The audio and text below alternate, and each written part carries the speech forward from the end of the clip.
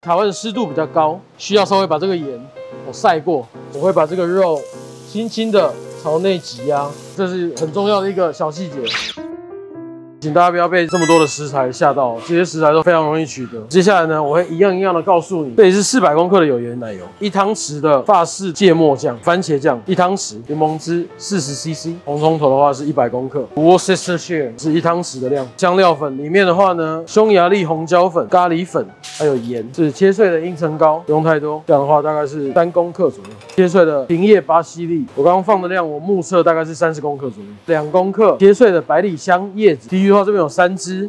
然后一汤匙的酸豆都切碎，提鱼在台湾有分醋制跟一般罐头的，那我们就用罐头提鱼，均匀的搅拌在一起，这样就 OK 了。大功告成，保鲜膜铺平，把这个奶油卷成圆筒状了之后呢，再切片，从最边缘的地方一口气将它翻一百八十度过来，用你的小拇指慢慢的把空气推出去，把它卷起来。卷起来之后呢，从两侧稍微抓着它拍打一下，这样可以帮它把空气排出来。从最边缘的地方呢，把里面剩余的空气排出来之后，慢慢的卷起来。选择你要的形状跟大小之后呢，把两边打结，这就是我们要的形状。那我会先把它放进冰箱里面，让它静置凝固。现在开始制作黑胡椒酱汁。一开始的话，我们准备了一些冷的无盐奶油，慢慢的让奶油融化。然后奶油开始起泡之后呢，我们第一个要加入的食材羊菇，买来切成薄片就可以了。我们今天炒的这些食材都不炒上色，食材受热之后，你会发现里面的奶油开始变得非常的滑顺跟浑浊。好，羊菇软了之后，胡萝卜、西芹、胡萝卜、西芹，它们比较硬，比较耐炒。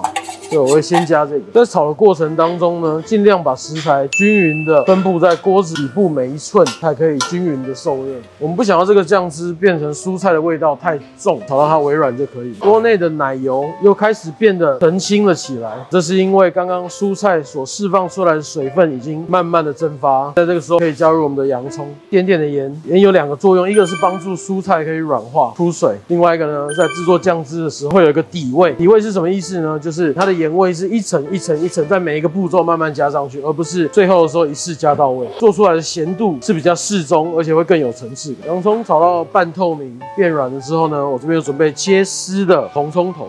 锅底可能有一点点干的时候，你可以再补一点奶油进去。油是这个介于食物跟火的媒介，它可以帮助我们更均匀的去传导火力以外呢，它也可以防止这个食物被烧焦。这样现在可以看到呢，蔬菜在锅里面炒到水分都蒸发了，体积也缩小了大概一半左右。很重要的一点呢，维持这个火力，让它的香味持续出来，但是不要把它炒到溃散哦，因为当你的蔬菜溃散之后，你的酱汁就会开始混浊。所以我们要加进一点百里香。新鲜的月桂叶，如果没有新鲜月桂叶就不要用。这边有我刚刚煮的鸡汤，如果在家里没有鸡汤的话呢，建议可以买市售的鸡汤就可以了。那我们现在在制作黑胡椒 sauce 的汤底的过程当中，我们就来制作黑胡椒酱。平底锅融化一些奶油，我们之后要炒粗粒的黑胡椒。粗粒黑胡椒除了香气以外，还有一个辣度在里面。起泡之后呢，我们加入黑胡椒，大概是两汤匙的量，不用太多，因为这个会太辣，火不要大。黑胡椒本身是一种香料，它没有任何的水分，在大火之下，它很容易就烧焦。我们用奶油炒，它的目的是希望它的辣度跟它的香气渗透到这个奶油里面，让那个 butter 慢慢的起泡，不用炒太久，二到三分钟。加入一点白兰地，在家里在制作这个东西的时候呢，千万要小心，因为家里的抽油烟机常常会有一层油垢，可能会让你的抽油烟机起火。